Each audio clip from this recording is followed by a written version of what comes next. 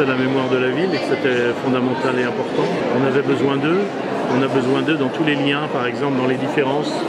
Euh, ils travaillent avec nos centres de loisirs, ils travaillent avec euh, les écoles, les servins, avec les servins qui sont là aussi un peu présents là aujourd'hui. On fait des échanges, on fait, on fait maintenant des cours de yoga avec les servins. On fait, euh, donc tout le, monde se, tout le monde se rencontre et on, on cultive la différence. Moi je j'aime pas ça la différence.